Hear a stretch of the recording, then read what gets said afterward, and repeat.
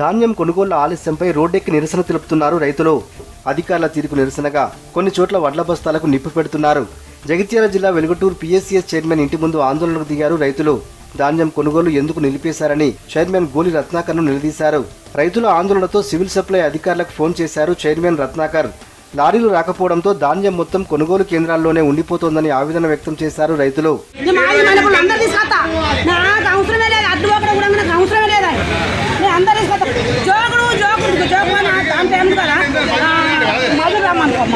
మనం. మధుర వస్తే మధుకు అంటే మళ్ళీ కొద్దిగా గింతానా మెదక్ జిల్లా శివంపేట మండలం దొంతి బస్టాండ్ దగ్గర ఆందోళనకు దిగారు రైతులు. తూఫాన్ నర్సాపూర్ రహదారిపై వడ్ల బస్తాలు పెట్టి రాస్తారోకో చేశారు.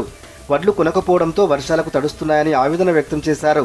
ప్రభుత్వం రైతు బంధు ఇవ్వకుండా తడిసిన వడ్లు కొనాలంటున్నారు రైతులు. పురుగు మందులు కొట్టినాము అన్ని కొట్టినాము ఏరే తను అప్పులు తీసుకొని వచ్చినాము. అప్పులు తీసుకొని వచ్చి ఆ ఒళ్ళు కూడా మంచిగా రాలే. వాళ్ళు కూడా దిగుబాటు రాలే. దిగుబాటు రాక కొన్ని లేక ఆడోకి ఇచ్చాడోకి పట్టింది. ఈ ప్రభుత్వము మాకు ఏమి సహాయం చేస్తలేదు. కరీంనగర్ జిల్లా జమ్మికుంటలో సాయంత్రం భారీ వర్షం పడింది. దీంతో వ్యవసాయ మార్కెట్లో ధాన్యం తడిసి ముద్దయింది. చేతికొచ్చిన పంట వాన నీటిలో కొట్టుకుపోవడంతో రైతులు ఆవేదన వ్యక్తం చేస్తున్నారు.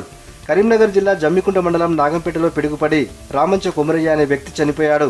కూలీ పనుల్లో ఉండగా పిడుగుపాటుకు స్పాట్లోనే చనిపోయినట్లు స్థానికులు తెలిపారు. మరోవైపు ఇదే జమ్మికుంట పట్టణంలో సాయంత్రం ఎండలో ఉరుములు మెరుపులతో కూడిన వర్షం పడింది. రాజన్న సిరిసిల్ల జిల్లా బోయినపల్లి మండల కేంద్రంలో ధాన్యం కొనడం లేదని రోడ్డుపై ధర్నాకు దిగారు రైతులు. రోజుల తరబడి ఎదురు చూస్తున్నా ధాన్యం కొనట్లేదని ఆగ్రహం వ్యక్తం చేశారు. చందుర్తి మండలం మూడపల్లి దగ్గర వేములవాడ కోరుట్ల ప్రధాన రహదారిపై రైతులు రాస్తారోకో చేశారు. లారీల ద్వారా మా గ్రామంలో ఉన్న వడ్ల నిల్వలు ఖాళీ చేయాలి.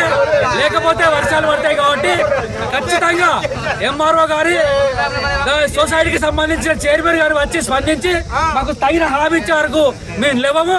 వరంగల్లో ధాన్యం కొనుగోలు ముందుకు సాక ఇబ్బందులు పడుతున్నారు రైతులు. మిల్లర్లు తరుగు పేరుతో దోపిడీకి పాల్పడుతున్నట్లు ఆరోపించారు. నిబంధనలు పాటించని వారిపై పోలీసులు కేసులు నమోదు చేయడంతో కొనుగోళ్ళు ముందుకు సాగడం లేదు. ఇటు హనుమకొండ జిల్లా కమలాపూర్ మండలం గూడూరులో రైతులు ఆందోళనకు దిగారు. ఐకేపీ సెంటర్లో వడ్లు కొనడం లేదంటూ హన్మకొండ కమలాపూర్ రోడ్డుపై బైఠాయించి నిరసన తెలిపారు. ఇప్పటికైనా వడ్ల ట్రాన్స్పోర్ట్కు లారీలను సమకూర్చాలని రైతులు డిమాండ్ చేశారు. వాళ్ళు నలభై రెండు కిలోలతో కాంటాలు వేసుకున్నారు. నలభై రెండు కిలోలతో కాంటాలు వేసుకొని అక్కడ పోయినాక నెంబర్ వన్ క్వాలిటీ నాది.